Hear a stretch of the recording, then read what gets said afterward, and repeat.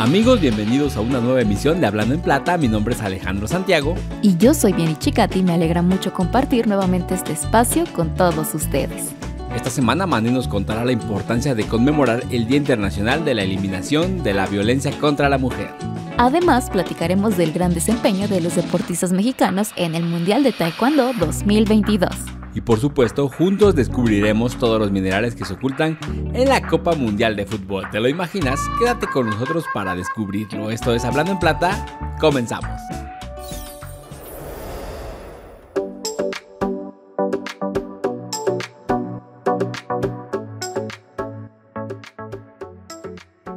Gracias por permanecer con nosotros en este espacio donde nos gusta compartir con ustedes lo acontecido en el mundo de la minería y es por eso que esta semana les vamos a contar acerca de la participación de Cristina Rodríguez, directora de sostenibilidad de Compañía Minera Cuscatlán, en el panel El reto de producir sin agotar los recursos, en el foro Forbes de Economía Verde y Desarrollo Sostenible 2022, organizado por la revista. Durante el panel, Cristina Rodríguez informó que la empresa opera bajo un marco de sostenibilidad alineado a políticas para la preservación del medio ambiente y una relación cercana y respetuosa con las comunidades aledañas a San José del Progreso, Oaxaca, donde está ubicada la mina San José. Además, especificó que la empresa está en camino a la sostenibilidad y en la reducción de emisiones de carbono, pues recolecta 90% de estos realiza trabajo de reforestación y tiene especial cuidado en el consumo de agua, ya que la mina opera con un ciclo cerrado, lo que significa que no genera descargas y el único volumen de agua que se pierde es el que se absorbe en el mineral o por evaporación. También añadió que el agua que se utiliza en los procesos se obtiene fundamentalmente de la recolección del agua de lluvia y de una planta de tratamiento ubicada en el municipio de Ocotlán, en la que la empresa invirtió en su rehabilitación. Recordemos que es importante cuidar el medio ambiente y desde luego el agua. Si quieres conocer más acerca de los procesos que maneja Compañía Minera Cuscatlán, puedes visitar las redes sociales para obtener mayor información. Esta información la encuentras en Facebook, Instagram, LinkedIn, YouTube y TikTok. Vamos a un corte y volvemos.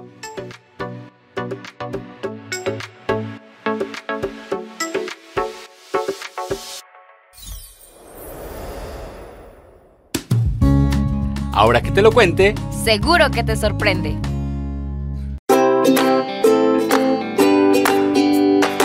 Hola amigos, soy Mané y me alegra mucho compartir con ustedes otro episodio de Hablando en Plata. ¿Sabías que la violencia contra mujeres y niñas es una de las violaciones de los derechos humanos más extendidas, persistentes y devastadoras?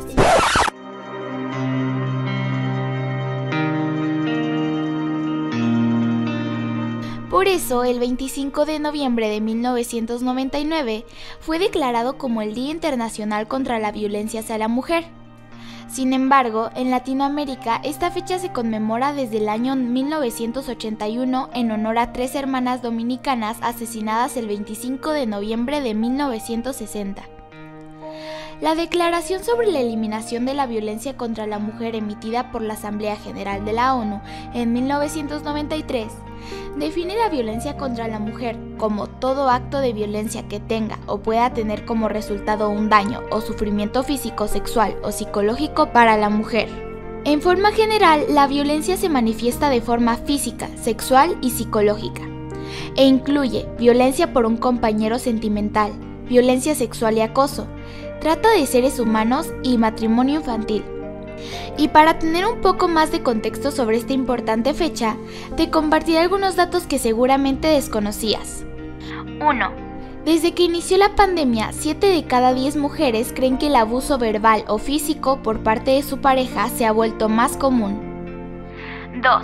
El 45% de las mujeres declaró que ellas o una mujer que conocían había sufrido alguna forma de violencia de género. 3. 6 de cada 10 personas consideran que el acoso sexual en los espacios públicos ha empeorado. 4. El 85% de las mujeres de todo el mundo han sufrido o han sido testigos de violencia digital contra otras mujeres. 5. Actualmente, México es considerado por la Organización de las Naciones Unidas como uno de los países que requiere realizar esfuerzos intensos para lograr la igualdad de género. Ahora ya lo sabes, la violencia contra la mujer es un problema que nos afecta a todos y a todas. Si detectas estos actos o conoces a alguien que requiere ayuda, acércate a las autoridades de tu comunidad e infórmate sobre las asociaciones enfocadas a apoyar a mujeres y niños. Recuerda que con acciones pequeñas podemos lograr grandes cambios. Yo soy Mané y los espero con más información la próxima semana.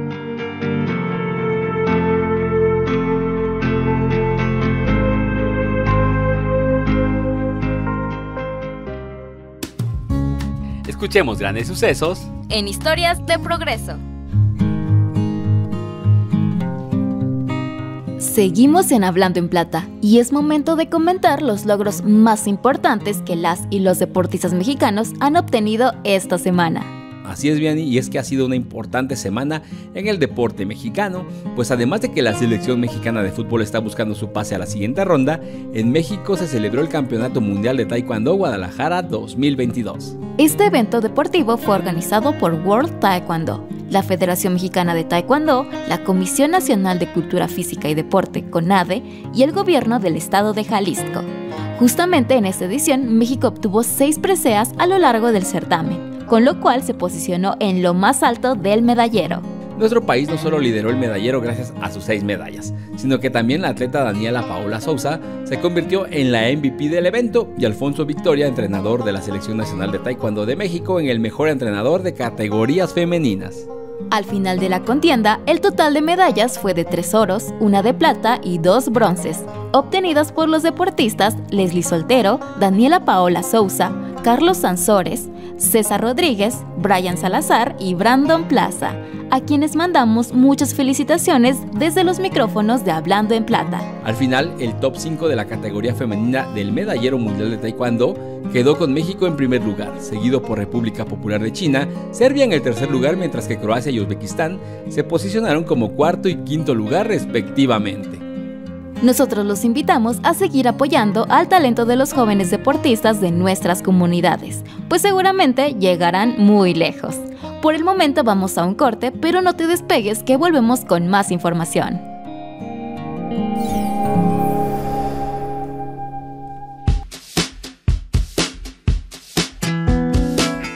Es la hora elegida para oír la minería en tu vida.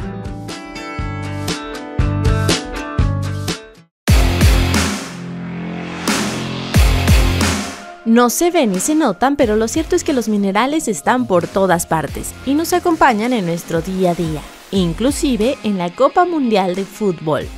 Sin duda en nuestro país uno de los deportes más arraigados a nuestra cultura es el fútbol y durante la celebración de la Copa Mundial se hace más evidente, pues la energía de los aficionados a este deporte se contagia en cada rincón de México.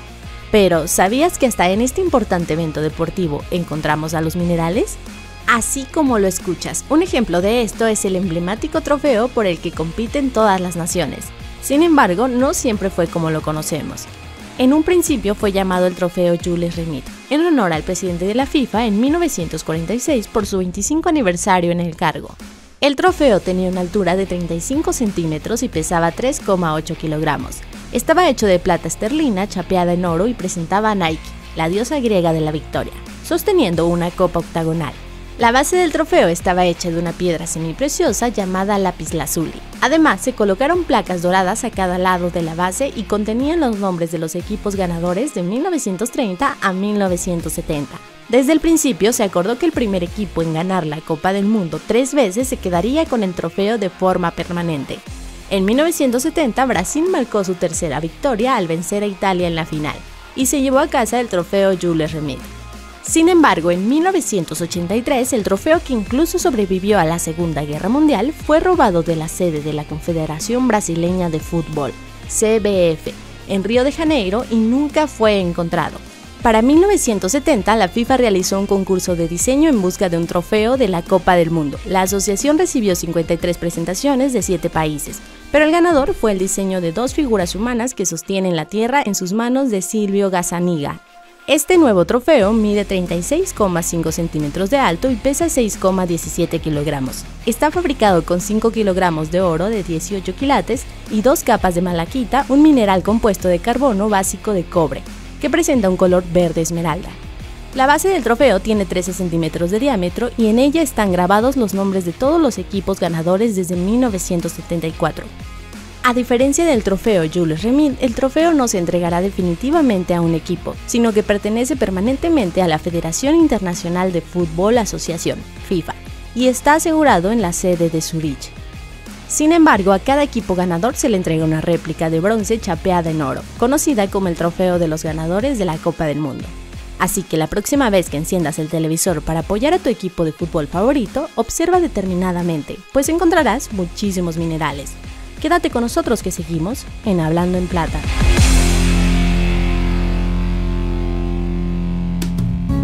Viaja y conoce lugares de oro en el recorrido sonoro. estamos por partir, pero aún tenemos un espacio para ti. Abróchate los cinturones y disfruta del camino, porque ya iniciamos con nuestro recorrido sonoro. Oaxaca, contamos con una inmensa diversidad enriquecida por sus bellas comunidades, sus tradiciones, gastronomía, lenguas maternas y muestras artísticas como las artesanías. Por eso, en el recorrido sonoro de esta semana, los llevamos a conocer San Antonino el Alto, un poblado perteneciente al distrito de Cimatlán, dentro de los valles centrales de Oaxaca. Este sitio es el hogar de la artesana Juana Martínez Amaya. Muchas gracias por recibirnos. Cuéntenos, ¿qué productos elabora? Artesanía de palma y hoja de pino, que hacemos muchas de variedades de productos que son charolas, bancos y este aretes de hoja de pino, tortilleros, collares, jarrones, este revisteros. ¿Cuánto tiempo lleva dedicándose a esta actividad? En 91 empezamos con sillas. ¿Cómo ha sido su experiencia trabajando con estos materiales? Pues este, nos costó un poco para empezar. Torcer la palma, se echaba en el trapo, en, este, en el trapo, en el agua, pues quedaba negro. Pero para empezar, pues sí nos costó bastante y hasta ahora, pues ya, gracias a Dios, ahora ya sacamos otros nuevos modelos que son de estos, pues ya. La hoja de pino empezamos el 2016. Y finalmente, díganos, ¿cómo podemos contactarla? 951-525-6120. La organización se llama este, Artesanía Aromática de Anelas. Muchas gracias por compartirnos un poco de su experiencia como artesana. Nosotros los invitamos a seguir apoyando a las y los artesanos de nuestras comunidades, pues con sus manos preservan las tradiciones y magia de nuestro estado. Yo soy Lucy y los espero la próxima semana en un nuevo destino. No te vayas, que seguimos en Hablando en Plata.